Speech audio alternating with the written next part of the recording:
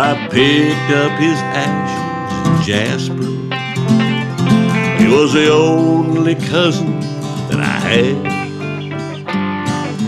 22 years older, lost his mom when he was young. Never ever shook hands with his dad. He was raised rough and careless, U.S. Navy, county jail, VA rehab's about all he'd ever done. Except sing those sad, sad songs from a little barroom bandstand, Friday and Saturday nights 9 to 1 When I was in the catfish bar that same rainy night. His ashes in a crumpled paper sack.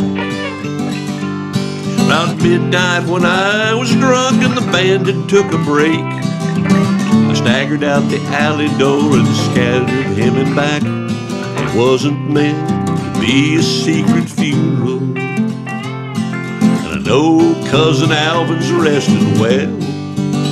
And when the steel guitar cries like a broken hearted angel, he'll be closer to heaven than to hell.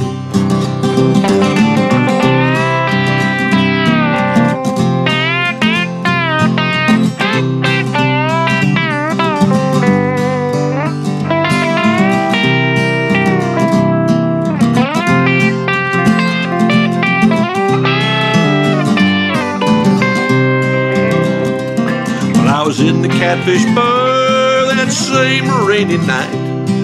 His ashes in a crumpled paper sack.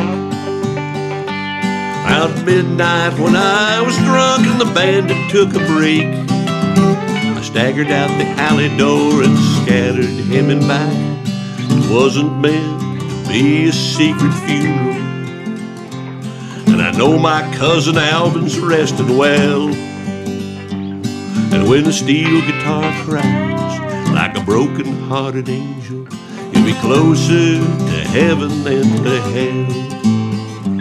And when that steel guitar cries like a broken hearted angel, you'll be closer to heaven than to hell.